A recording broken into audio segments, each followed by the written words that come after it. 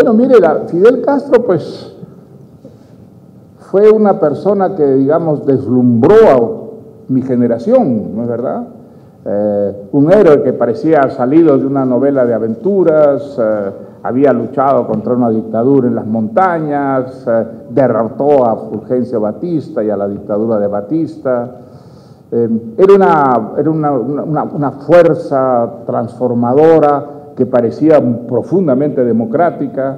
El Castro de Sierra Maestra y de las primeras declaraciones afirma que la revolución va a ser una revolución profundamente democrática, que no va a ser una revolución comunista, que él no tiene intención de quedarse en el poder, que habrá elecciones libres, que la Cuba, digamos, que van a transformar los, los barbudos, va a ser un, un ejemplo de democracia, que habrá reformas para que haya justicia social, desde luego, muy radicales pero que la libertad estará siempre presente, ¿no es cierto?, en la Cuba. Pues eso lo, creímos, se lo creímos y por eso hubo ese gran deslumbramiento por la revolución cubana y no solo en América Latina, sino en el, en el resto del mundo.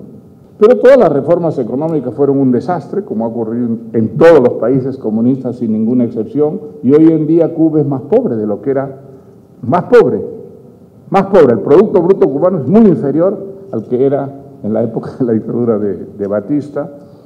Hay una clase privilegiada, que es la nomenclatura, una clase absolutamente minúscula, que es la que tiene unos niveles de vida muy decorosos, y el empobrecimiento de la, de la, de la, sociedad cubana en general es enorme, es absolutamente enorme.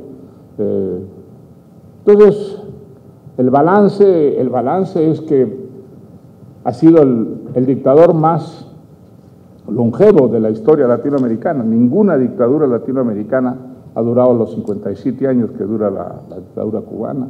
Hay por lo menos tres, casi cuatro generaciones de cubanos que solo conocen la, dictadura. Y entonces, pues su muerte yo creo que es como la bolita de nieve que empieza a correr. ¿ah? Es como la muerte de Stalin, como la muerte de todos los grandes dictadores.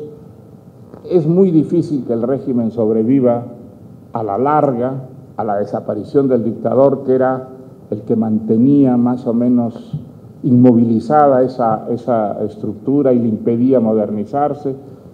Yo creo que no hay nadie que pueda reemplazar a, Fidel como el mito, la leyenda, eh, el, héroe epónimo, ¿no es cierto?, en que se convirtió Fidel Castro. Y entonces pues comenzarán a resquebrajarse poco a poco las, las estructuras de dominación, de control, y esperemos que este, este proceso sea rápido y sobre todo indoloro, que no traiga más violencia de la que ha padecido ya el, pueblo cubano. ¿no? ¿Podría argumentar por qué, eh, por qué utilizar al periodismo para